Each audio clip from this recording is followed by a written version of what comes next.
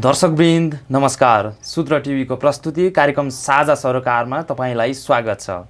दर्शकवृन्द साझा सरोकारमा आज हामी विश्वव्यापी महामारीको रूपमा फैलिरहेको कोरोना कहरबाट नेपाल पनि गुज्रिरहेको छ विश्व पनि गुज्रिरहेको छ।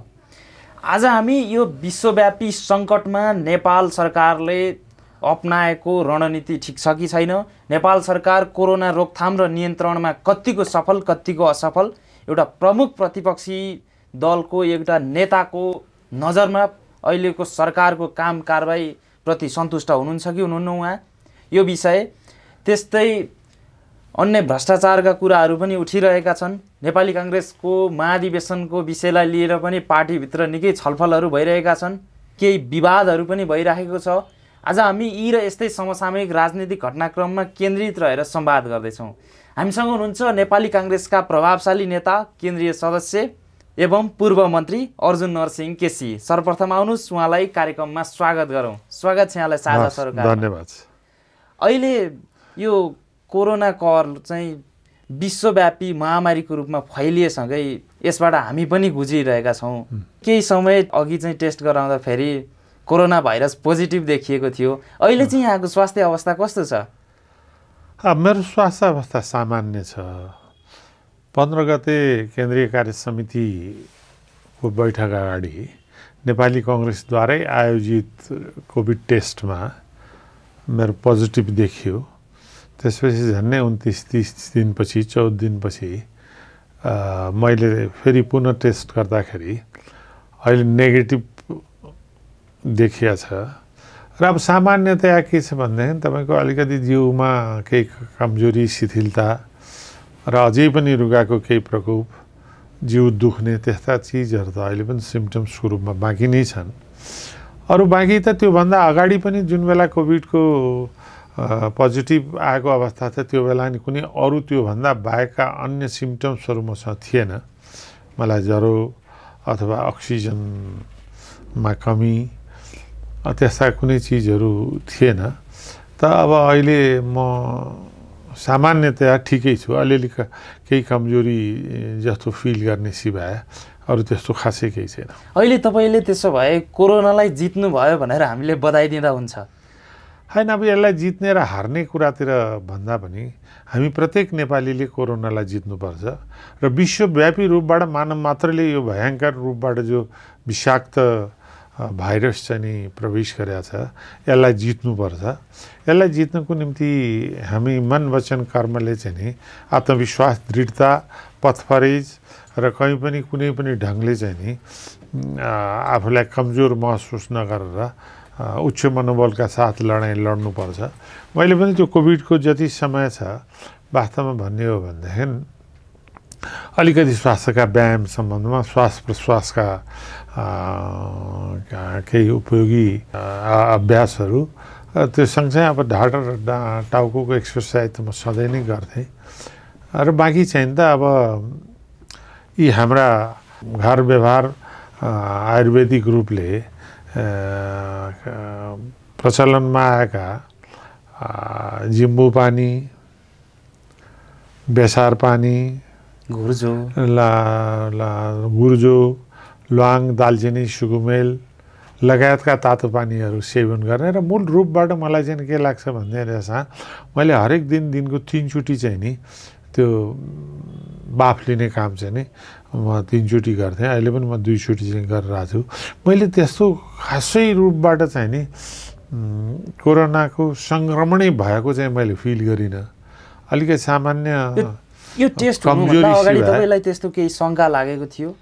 मलाई त्यस्तो केही शङ्का थिएन। तर अलिकति त्यो जुन दिन म टेस्ट गर्दै थिएँ त्यो बेला अलिकति रुगा र लक्षणहरू देखिएको थियो। लक्षण भन्दा पनि अब रुगा चाहिँ म अलिकति एलर्जिक भावनाले सानो धुलोको कण नाकमा पस्दाखेरि पनि अथवा कुनै स्मेल खुर्सानीले पनि हाछिउ हाछिउ आउँथ्यो। त्यो एलर्जीको औषधि खान्थेँ पनि म कहिलेकाहीँ। अनि शरीर चाहिँ नि निकै दुख्या थियो। जुन दिन म टेस्ट गराउन गएको थिएँ। अहिले मलाई सामान्य। अहिले त्यसबाट तपाईँ पूर्ण रूपमा स्वस्थ हुनुहुन्छ?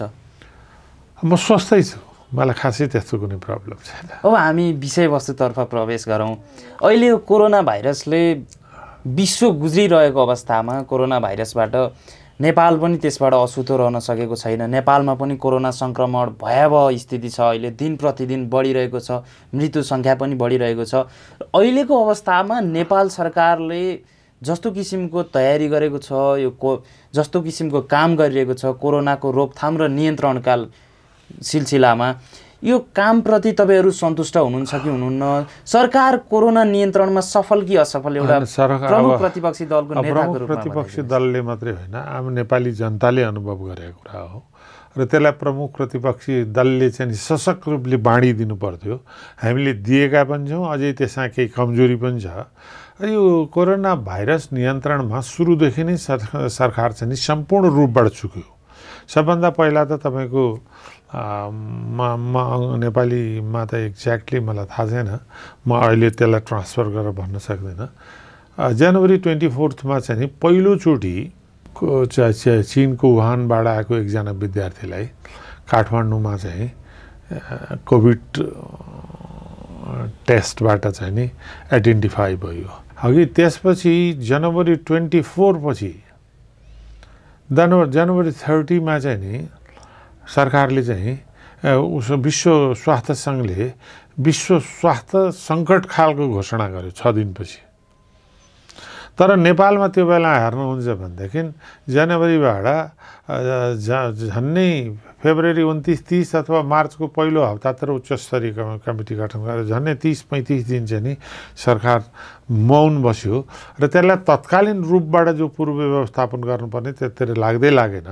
मानव सरकारलाई चाहिँ के अनुभव भयो भने चिनमा भएको कोरोना भाइरस यत्रो उच्च हिमाली श्रृङ्खला पार गरेर आउँदैन। हामी ढुक्कै छौँ भन्ने खालको सुरुवाती दिनमा त सत्तारूढ नेताहरूले मन्त्रीकै पनि अभिव्यक्ति चाहिँ यो कोरोना भाइरस केही पनि होइन। चिनमा पानी पर्दा चाहिँ नेपालमा छाता ओढेर केही पनि हुँदैन छाता ओढ्नु पर्दैन भन्नुसम्मको गैर जिम्मेवारपूर्ण अभिव्यक्ति गैर जिम्मेवारपूर्ण अभिव्यक्ति र गैर जिम्मेवारपूर्ण सोचाइले गर्दाखेरि पूर्व तयारीको व्यवस्था चाहिँ एकदम कमजोर रह्यो। अब त्यसपछि फेरि उच्च स्तरीय समिति गठन गरिसकेपछि नि त्यसलाई चाहिँ नि हामी हामीले जुन खालको तदारुकता अब यो एउटा खालि चाहिँ नि लकडाउन अर्ध लकडाउन अथवा निषेधाज्ञा निषेधाज्ञा मात्रै यसको समाधान होइन। त्यसले खालि जनतालाई चाहिँ नि अलिकति यो भौतिक दूरी कायम गराएर रोकथाम गर्ने मात्रै विधि हो। नियन्त्रण मात्रै गर्न सक्छ। उपचार विधिको निम्ति अथवा उपचारात्मक दृष्टिकोणले जुन व्यवस्थापन सरकारले गर्नुपर्ने थियो न सरकारले चाहिँ स्वास्थ्य कर्मीहरूलाई चाहिँ के अरे सुरक्षा सामग्रीको व्यवस्था गर्यो न सरकारले चाहिँ के अरे यो सुरक्षाकर्मीहरू स्वास्थ्य कर्मीहरूदेखि लिएर आम स्तरमा चाहिँ जुन जुन अग्र मोर्चामा काम गर्नेहरू छन् तिनीहरूको अहिले पनि हेर्नुहुन्छ भने स्वास्थ्य कर्मीहरूले पिपी नपाएका गुनासो ठाउँ ठाउँबाट आइरहेछ उनीहरूलाई दिन्छु भने सहुलियत नदिएको स्थितिमा चाहिँ नि अहिले वीर हस्पिटलमा मात्रै हिजो अस्ति मात्रै असन्तोष व्यक्त भएको कुरा सुनेको थिएँ।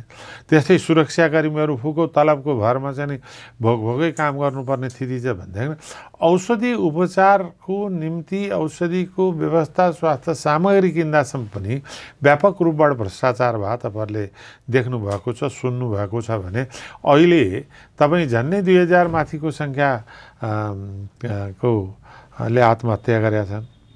त्यत्तिकै रूपबाट खान नपाएर मर्नेहरूको सङ्ख्या वृद्धि हुँदैछ र देश आतङ्कित अवस्थामा छ न भेन्टिलेटर छ न आइसियु छ।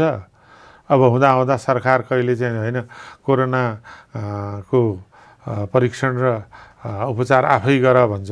कहिले चाहिँ होइन के अरे के सासै फेर नसक्ने सिरियस भएपछि मात्रै हस्पिटल जाऊ नत्र हस्पिटलमा भाडा नलिने भन्छ फेरि सच्यार चाहिँ होइन गरिबी रूपबाट आइडेन्टिफाईहरूलाई चाहिँ सरकारले उपचार गर्छ भन्छ भन्दाखेरि यो सरकारले कुन दिन जनताको स्वास्थ्यको त परवाह गर्न सकिनँ सकिनँ म शान्ति सुरक्षा नि गर्न सक्दिनँ भन्ने जस्ता राष्ट्रका प्रमुख दायित्वबाट भाग्छ कि भन्ने खालको परिस्थिति छ।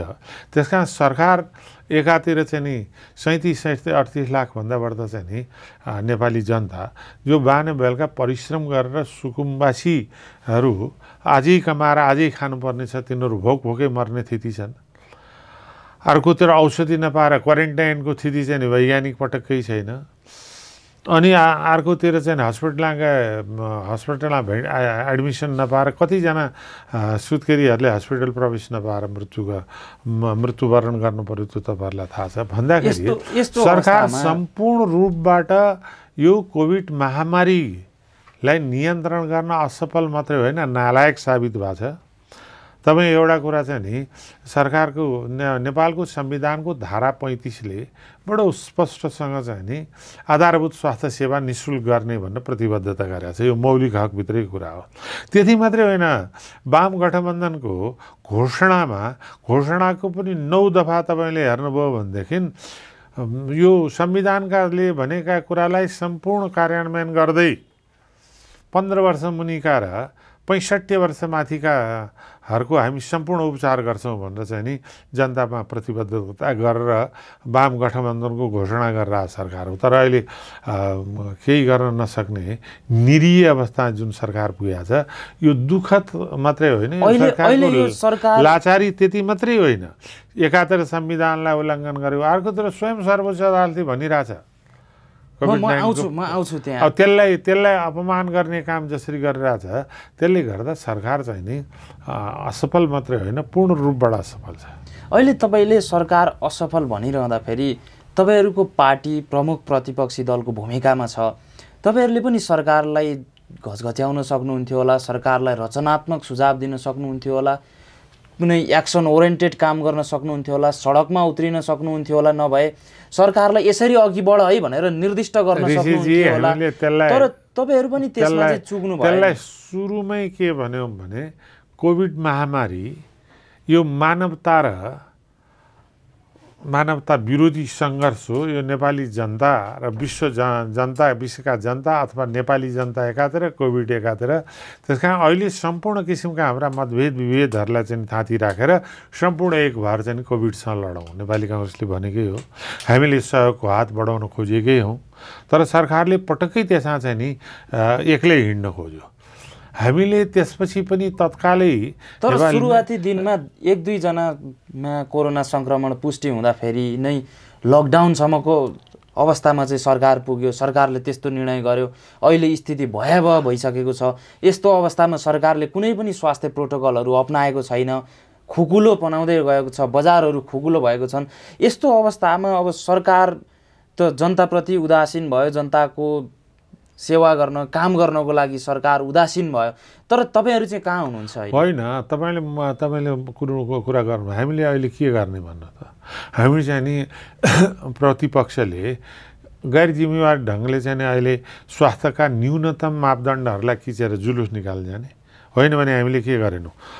यसबिचमा स्वास्थ्य सामग्री खरिदमा व्यापक भ्रष्टाचार व्यापक भयो। भ्रष्टाचार आवाज। उठेकै छ तर अब हामीले जुलुस निकाल्न सक्ने स्थिति भएन अहिले।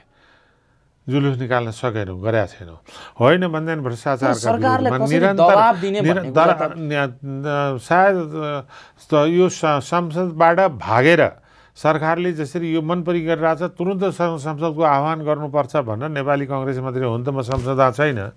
सबभन्दा पहिलो भन्ने मान्छे म पनि हो। संसद किन अहिले संसदबाट सरकार भागेको छ भने यही कुकृतहरू आउला भनेर। त्यस कारणले हामीले केन्द्रीय कार्य समितिबाट पास गरेर धेरैचोटि पठाएको छौँ त्यति मात्रै होइन हाम्रो हाम्रो डेलिगेसन चाहिँ नि नेपाली कङ्ग्रेस तर्फबाट डेलिगेसन गरेर प्रधानमन्त्रीलाई भेटेको छ। हाम्रा विभिन्न समितिहरूले प्रवक्ताजीले यसको सम्बन्धमा व्याख्या गरेर राख्ने भएको छ हाम्रा भ्रातृ संस्थाहरूले देशव्यापी रूपबाट सुरक्षा प्रत्याभूति दिलाउने सहयोग गराउने कामदेखि यसको विरोध गरि नै राख्नु भएको छ। अरू कुरा चाहिँ नि हामी के गर्न सक्छौँ यो बेला? हामीले जुलुस घेराउ बन्द त गर्न सक्दैनौँ सरकारलाई दिने सुझाव दिइ नै रहेछौँ तर सरकार यसमा चाहिँ नि लाचार मात्रै होइन नालायक साबित भएको छ। जुन बेला चाहिँ नि लकडाउनलाई चाहिँ यत्रो कडा गर्नु पर्दैन थियो त्यो बेला लकडाउन गर्यो अहिले यत्रो विधि महामारी छ। म त म म त पहिलो मान्छेमध्ये एउटा हुँ। सरकार तिमी स्वास्थ्य सङ्कटकाल घोषित गर। नेपाली जनतालाई होइन मैले धेरै दुई महिना एक महिना अगाडि चाहिँ नि मेरा सामाजिक सञ्जालहरूमा सार्वजनिक रूपले बोलेका हेर्नुहुन्छ भने सा स्वास्थ्य सङ्कटकाल घोषणा गर र सबभन्दा पहिला हाम्रो दायित्व सबैको नेपाली जनतालाई जीवन रक्षा गर्नु जीवन रक्षा। गर्नु राज्य राज्यको दायित्व प्रमुख प्रतिपक्षको जम्मैको दायित्व हो। त्यसका अहिले भएका राष्ट्रिय स्रोतहरूलाई चाहिँ सबै डाइभर्ट गरेर चाहिँ स्वास्थ्य संस्थाहरूलाई चाहिँ सुदृढ बनाउनुतिर लाग दसौँ हजार चाहिँ नि आइसियु र भेन्टिलेटरको सङ्ख्याहरू बढाऊ। अहिले अहिले यो चाहिँदा नचाहिँदा दसैँ खर्चदेखि सङ्घीय संसद या प्रदेश संसदलाई के अरे दिनुपर्ने सांसद कोषको रकम स्वास्थ्य यो वर्ष चाहिँ नि स्वास्थ्य संस्थाहरूलाई सुदृढ गर्न मात्रै खर्च गर्ने दृढता सरकारको भए के जान्थ्यो? अरू अरू अरू अरू पनि जहाँ जहाँ बजेट छन् राष्ट्रिय महत्त्वका नगरी नहुने बाहेक सम्पूर्ण बजेट यता डाइभर्ट गर्न सकिन्थ्यो। बजेट नभएर होइन। सरकारको नै इच्छा शक्ति छ न आफूले बोलेका कुरामा ऊ कहिले इमान्दार छ न जनताप्रति प्रतिबद्ध छ। तपाईँले यो अहिलेको सिँगै छ महिना हेर्नुभयो भने उन्चास पचासचोटि चाहिँ नि नेकपाका दुईवटा नेताहरूको भेट भयो भनेर सार्वजनिक रूपले आउँछ। तर ती भेटहरूमा कतिचोटि चाहिँ नि नेपाली जनताका शान्ति यो कोभिडको महामारीबाट बचाउने एजेन्डा। अधिकांश भेटहरू त कतिचोटि चाहिँ तपाईँको नेपाली जनता दसौँ हजार हामीले आवाज त दिइरहेछौँ, तर। सरकार- सरकार- पनि आफ्नै पार्टीको हाम्रो आन्तरिक हाम्रो आन्तरिक विवाद छ। हाम्रा मौलिक मतभेदहरू धेरै छन् तर। तर सरकारसँग यो नेपाली जनतालाई कोभिडको महामारी अथवा प्राकृतिक प्रकोपबाट चाहिँ दसौँ हजारका अङ्गभङ्ग भएका छन् हजारौँ मान्छेहरू खान नपाएर सडकमा माग्ने स्थिति छन् यो भूकम्प के अरे बाढी पहिरो प- प्रकोपबाट। त्यतातिर सरकारको एजेन्डा कतिचोटि बन्यो? यी हामीले त तपाईँसँग अहिले भनिरह भने त्यही हो सार्वजनिक रूपले सामाजिक सञ्जालदेखि हामीले केन्द्रीय कार्य समिति मार्फत पनि धेरैचोटि भन्यौँ। तर अब त्यो भन्ने भन्दा अब अहिलेको परिस्थितिमा भ्रष्टाचारको कुरा तपाईँ गर्नुहुन्छ भने यो यो यो के अरे सेक्युरिटी प्रिन्टिङ प्रेस र खाद्य सामग्रीको मात्रै के अरे स्वास्थ्य सामग्रीको मात्रै होइन। मैले गनी गनी धेरैचोटि भनेको छु। तेत्तिस wide 33 body narrow body wide 33 बडीमा त केटी- तपाईँहरूकै होइन, पार्टीको जोसुकै जोसुकै होइन सर। यो- गलत कुरा तपाईँ नगर्नु। सरकारलाई जब हामी भनिरहेछौँ आँट छ भनेदेखि वाइट बडीको पनि गर न्यारो बडीको पनि गर तेत्तिस केजी सुनको पनि गर बालुवाटारको पनि गर ओम्नी प्रकरण यति प्रकरणदेखि के अरे बुढी। बुढी गण्डकी एनसेल प्रकरण जम्मै अहिले सक्छ सरकारको यो नेकपाको सरकार यदि साँच्चै जनताको सरकारको रूपमा चिनिन चाहन्छ भने एउटा निष्पक्ष उच्च स्तरीय भूतपूर्व प्रधान न्यायाधीशको संयोजकत्वमा न्यायिक निष्पक्ष पारदर्शी समिति गठन गरोस्। त्यसले सबै सबैको छानबिन गरोस्। को पर्छ त्यसमा? यसको पार्टी उसको पार्टी त्यो चाहिँ मतलब? कस्तो अवस्था देखिन्छ भने तपाईँहरूको पार्टीका नेताको नाम आउने बित्तिकै चाहिँ कम्प्रोमाइज खो भइहाल्ने कहाँबाट कम्प्रोमाइज भयो? यी मै भनिरहेको छु। म पनि त पार्टीको जिम्मेवार मान्छे हुँ। सरकारको आँट हुनु पर्यो। सरकारका मान्छे र नेकपाको संलग्नता नभए भए पद र नियुक्तिमा त होइन, मिलीभगतमा काम हुन्छ। हो त त्यो मिलीभगत पनि गलत हो। विपक्षी र त्यो त्यो त्यो त्यो गलत परम्परा हो। विपक्षीले। विपक्षीले भागभन्डा र सौदाबाजी गरेर हिँड्ने होइन। यदि त्यस्तो कहीँ भएको छ भने त्यो गलत परम्परा हो। त्यो गलत हो त्यो गल्तीले पनि सरकारले चाहिँ नि यो मनपरी गर्ने चाहिँ नि मौका पाछ। अहिले यो कोभिडले अप्ठ्यारो स्थिति छ। यदि तपाईँहरू अहिले सत्तामा हुनुभएको भए चाहिँ के गर्नुहुन्थ्यो? होइन अहिले सत्तामा भएको भए पनि हेर्नुहोस् यो जो सत्तामा हुँदाखेरि सबभन्दा पहिलो कुरा चाहिँ के छ भनेदेखि एउटा राष्ट्र यो राष्ट्रिय महामारीलाई नियन्त्रण गर्न राष्ट्रिय सहमतिको थिति सिर्जना हुनुपर्छ। एउटा राष्ट्रिय सहमतिको नीति तयार गरेर त्यसलाई स्रोत परिचालन गर्दा जहाँ जसरी गर्न पर्यो भने गर्ने भन्ने दृढता साथ सरकार अगाडि बढाए भए। र सबभन्दा पहिला फोकस चाहिँ के भने स्वास्थ्य संस्थाहरूलाई सुदृढ गर्नेतिरै हामी सुरुदेखि लाग्यो भए छ महिनामा सात महिनामा त धेरै चिज भइसक्थ्यो नि। अहिले भेन्टिलेटर कति छ भन्दा आठ नौ सय छ। यो यो। अहिले भेन्टिलेटरको अभाव छ बेडको आइसियु केही पनि उपलब्ध भन्दैछु त यी सबै चिजको अभाव छ। मान्छे आफै बाँच्नेसी भए सरकारले अथवा राज्यले बचाउने आशाबाट आशा गर्न सक्ने स्थिति छैन। सरकारले भनिरहेको छ राज्य पदले अब उपचार गर्न सक्दैन कोरोना संक्रमित जो छ आफैले उपचार आफैले उपचार गर आफैले परीक्षण गर भनेर सरकारले भन्ने योभन्दा लाचारी र योभन्दा चाहिँ नि लज्जाको पराकाष्ठा सरकारको निम्ति के हुन्छ?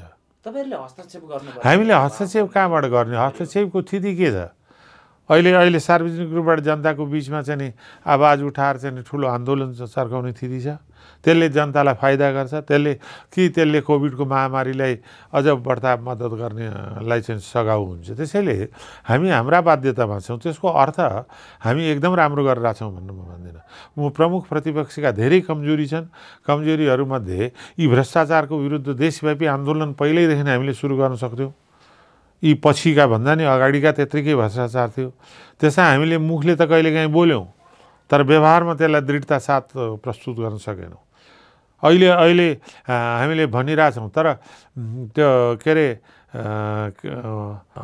लाउडामा यही नेकपा एमाले उनासाठी दिन संसद बन्द गर्दा नेपाली कङ्ग्रेसले संसद वाइट बडीमा किन दुई दिन संसद संसद बन्द गरेन? त्यो अर्जुन नरसिंहले नै क्वेसन गरिरहेछ काङ्ग्रेसैभित्र। यो मैले के। केन्द्रीय केन्द्रीय कार्य समिति पनि गरिरहेछ सार्वजनिक सार सार्वजनिक रूपबाट पनि गरिरहेछ। त्यस कारण हाम्रा हाम्रा कमजोरी छन्। म कमजोरीलाई स्वीकार नगर्ने म म म झुट बोल्दिनँ। होइन बोलेका छन्। बोल्न बोल्न चाहिँ बोलेकै छन् तर एक्सनमा म के चाहन्छु भने वाइट बडी वाइट बडीको एकचोटि चाहिँ संसदमा बोलेर होइन? त्यसको संसदीय समितिले निर्णय गरे अनुसार किन गरेन भनेर चाहिँ नि संसद तिन दिन पाँच दिन हडताल कसले प्रश्न हामीले त प्रश्न उठा उठाउँछौँ मैले भने अब मैले फेरि लाचार लाचार भएर तपाईँसँग भने म नाम। होइन म मिनेन्द्र म म संसदमा छैन। त्यस कारणले मैले उठाउनु पर्ने मैले उठाइरहेको छु। त्यो त्यो त्यो हाम्रा कमजोरी हुनु भनेर भनिरहेको छु। त्योभन्दा बढ्दा मैले तपाईँलाई केही भन्ने कुरा छैन।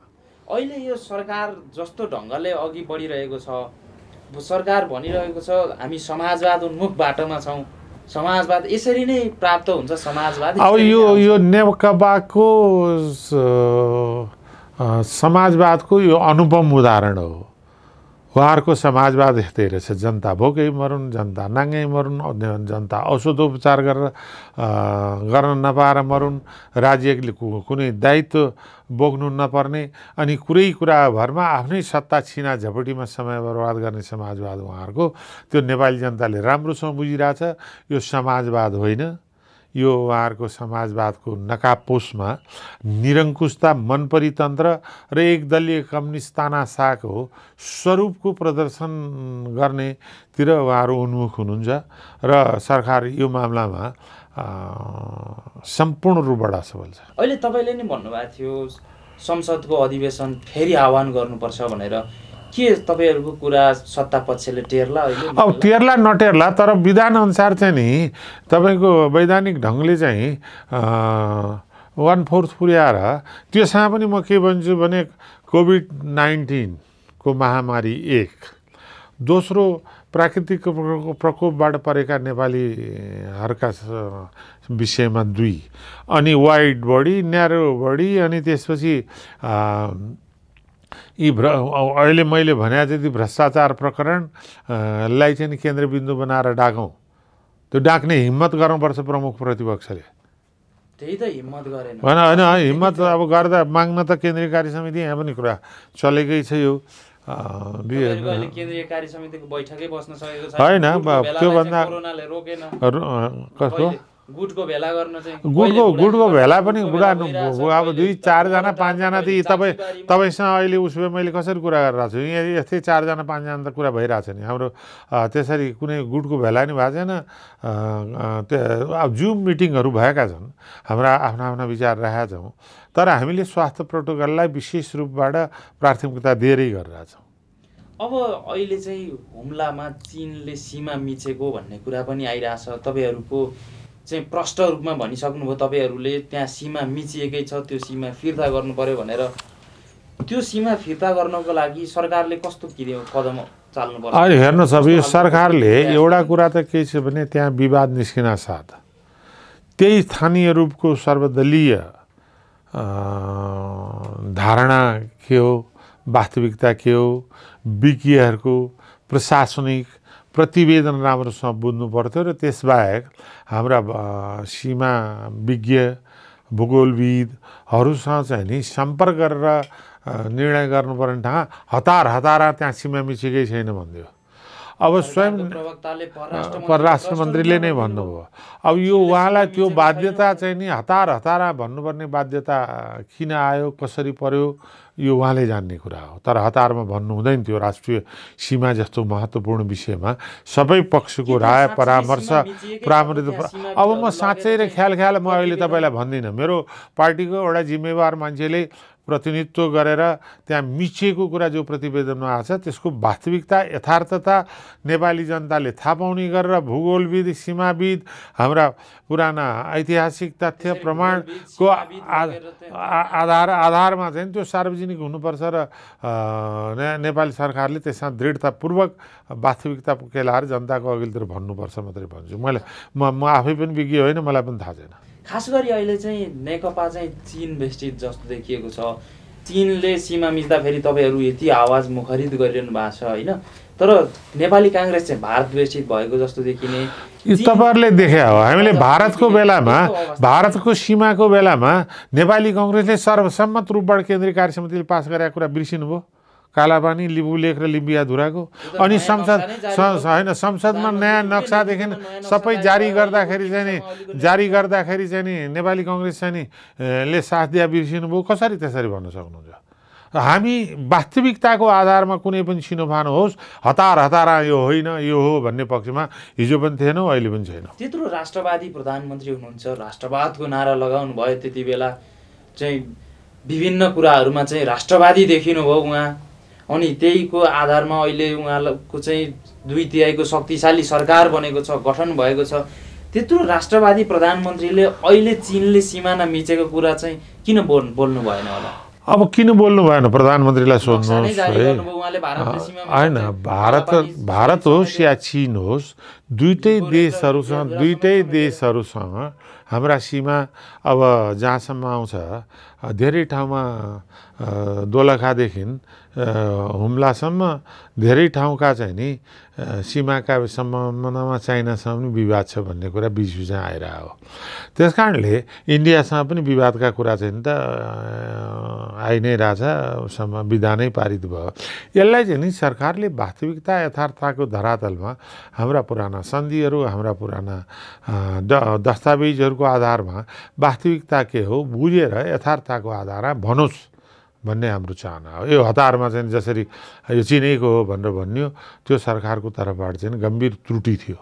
अब अहिले पूर्व प्रधानमन्त्री डाक्टर बाबुराम भट्टराईले बुढी गण्डकी जलविद्युत आयोजनाको नाममा वर्तमान प्रधानमन्त्री केपी शर्मा ओली पूर्व प्रधानमन्त्री द्वय शेरबहादुर देउवा र पुष्पकमल दाल प्रचण्डले चाहिँ मिलेर चाहिँ नौ अर्ब रुपियाँ भ्रष्टाचार गर्नुभएको भन्ने आरोपले चाहिँ नेपाली राजनीति तरङ्गित भएको छ।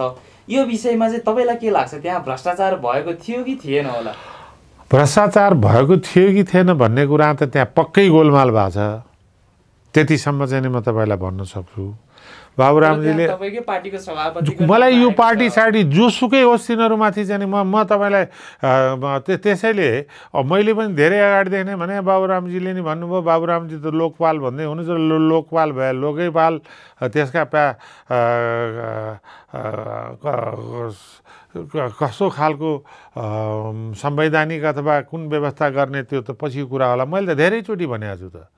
यो बुढी गण्डकी लगायत यी अघि भनेका सबै कुराहरूमा एउटा निष्पक्ष पारदर्शी इमेज भएको भूतपूर्व प्रधान न्यायाधीशको संयोजकता न्यायिक पारदर्शी शक्ति सम्पन्न समिति गठन गरेर छानबिन गर भनेर त्यसमा उसको पर्छ यसको पर्छ म पर्छु त्यसको पर्छु। शक्तिशाली आयोगै गठन गरेर छानबिन गर्नुपर्छ अख्तियारबाट हुँदैन। त्यो मैले धेरै अगाडिदेखि माया हो। त्यस कारण बाबुरामजीले जे जे भन्नुभएको छ त्यो कुरामा मेरो सम्पूर्ण रूपबाट साथ छ। त्यो आवश्यकता छ। सहमति छ। यो मैले पनि भनिरहेको कुरा हो। उहाँले बुढी गण्डकी मात्रै भन्दा मैले अझ एउटा सामाजिक सञ्जालमा बुढी गण्डकी मात्रै होइन यी पनि चाहिन्छ भन्दा उहाँले होइन त्यो मैले भनि नै रहेको कुरा भन्नुहुन्छ यो एकदम के छ भने नत्र यो देश चाहिँ नि कोभिड महामारी भन्दा नि भ्रष्टाचारीको महा भ्रष्टाचारको महामारी फसिसकेको छ। बुढी गण्डकीको केसमा घोटालाहरू भएकै छन्। कहाँबाट भएको छ कसरी भएको छ त्यो म भन्न सक्दिनँ। त्यो मेरोमा मेरो ज्ञानमा त्यति छैन। तर भएको हो भन्ने कुरा चाहिँ नि म एउटै मात्रै इक्जाम्पल जुन बेला प्रचण्डजी प्रधानमन्त्री र म मन्त्री थिएँ त्यो अन्तिम दिन प्रधानमन्त्रीको कहाँ डिनरसहित आज अन्तिम विदाई भनेर बोलाइयो। त्यो बोलाएको दिन चाहिँ नि कुनै खास एजेन्डा थिएन नर्मल सिभा त्यो त्यसै सिद्धिया थियो। अन्तिममा होइन त्यो के अरे बुढी गण्डकी पनि गर्नु पऱ्यो म म म म मान्छे थिएँ। त्यहाँ रेकर्ड डकुमेन्ट केही छ भनेदेखि क्याबिनेट पेपर आएको छैन। यत्रो ठुलो सम्झौता ग्लोबल टेन्डर हुनुपर्ने। कसरी अहिले यसरी दिन मिल्छ? बिना प्रतिस्पर्धा त्यो टेन्डर आवर नगरिकन कसरी कसरी हुन्छ? बुझेँ। कसरी हुन्छ यो यो हुँदैन भने। हामी त्यत्तिकै उठ्यौँ त्यही त्यही दिन क्याबिनेट त्यो पारित भयो त्यसले गर्दाखेरि मलाई भारी शङ्का त्यही दिन पनि लाग्थ्यो दिन बस्छ क्याबिनेट सिद्धियो। त्यस कारणले त्यो आधार अनि म काहीँ न काहीँ यसको चाहिँ नि भित्री गोलमाल छ भन्ने कुरा चाहिँ म कन्भिन्स छु तर गोलमाल कहाँ कहाँ कति भयो म विज्ञ पनि होइन म प्राविधिक पनि होइन को को जिम्मेवार छन् त्यो मलाई थाहा छैन म भन्न सक्दिनँ। तर यसको वास्तविकता छानबिन गर्नुपर्ने आवश्यकता छ। अहिले यो करिब तिन वर्षको अवधि बढी अवधि हेर्ने हो भने लगभग यो अवधिमा प्रमुख प्रतिपक्षी दलको भूमिकामा नेपाली काङ्ग्रेस चाहिँ कहाँ कहाँ चुक्यो जस्तो लाग्छ तपाईँलाई? अब यो चुकेको हिसाब किताबतिर जान चाहन्न। धेरै ठाउँ चुकेका छ। सबभन्दा पहिला त भागभन्डा खोज्ने सौदाबाजीका कुराहरू भ्रष्टाचार महँगी मूल्य वृद्धिको विरुद्ध सशक्त जनस्तरमा आवाज उठाउनुको निम्ति अब को के म त्यतातिर तपाईँको भाषा भयो त्यो। त्यसलाई जति सशक्त गर्नु पर्थ्यो खालि ओठे भक्ति सिवाय हामीले गर्न सकेनौँ। हामी भनिरहेको छौँ म कसैलाई दोष दिइरहेको छैन त्यस कारण त्यस कारणले होइन आन्तरिक विवाद कुन पार्टीमा छैन? संसारभरि हुन्छ लोकतन्त्रमा आन्तरिक विवाद हुन्छ। आन्तरिक विवाद हुँदाखेरि राष्ट्रको निम्ति महत्त्वपूर्ण रूपबाट एउटा एजेन्डा फिक्स त्यसपछि त्यसमा अगाडि बढ्न सकिन्थ्यो नि त्यो गरेनौँ। ओठे भक्ति बुढी गण्डीको निगाली गऱ्यौँ वाइट बडीको नि भन्यौँ तर मैले भने नि एक दिनसम्म सदा बन्द गर्न सकेनौँ। भन्दाखेरि हाम्रा धेरै कमजोरीहरू छन् त्यो कमजोरीलाई हामी चाहिँ नि चौधौँ अधिवेशनपछि न्या नीतिगत नेतृत्वगत संरचनागत आमूल परिवर्तन गर्दै पार्टीलाई जीवन्त र सशक्त बनाउँदै यो आन्दोलनलाई गति दिन्छौँ। नेपाली काङ्ग्रेसका सभापति शेरबहादुर देउबाको भूमिकाप्रति चाहिँ तपाईँ सन्तुष्ट हुनुहुन्छ कि हुनुहुन्न? म निरन्तर रूपबाट यो कार्यशैलीबाट पार्टी चलाउनु ठिक भएन। यो यो यो यो स्वक्षाचारी र हुकुम यो स्वक्षाचारी र हुकुमी शैलीबाट पार्टी चल्दैन। म उहाँले उहाँले चलाएको तौर तरिकासँग सहमत छैन। विगतमा हो। उहाँ उहाँ सँगसँगै एउटै टिमबाट म महामन्त्रीले लडे हो। लड्या हो। मै भन्दछु मलाई भन्न दिनु न लड्या हो। तर कसरी लडे? स्वयं उहाँ र शशाङ्कजी दुईवटा मिले मिलेर म माथि प्रहार गरिएको कुरा पनि शशाङ्ककै मुखबाट आयो।